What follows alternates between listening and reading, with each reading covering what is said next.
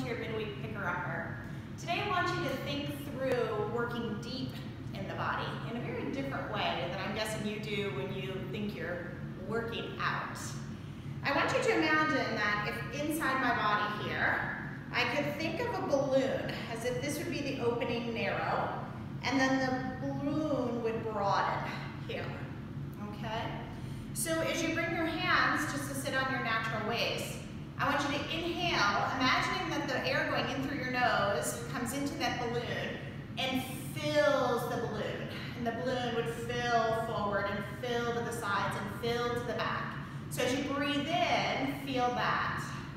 As you exhale out your mouth, I want you to imagine that all the air is getting forced to push back out and it gets so narrow that that balloon just shrivels up like there's nothing left to give.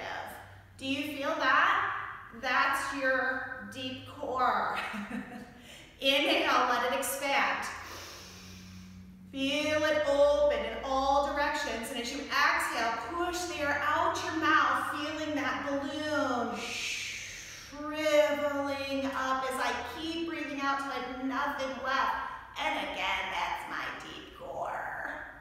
So remember the balloons aren't up here right? I want you to think of vast area all in your trunk that you're filling with the breath.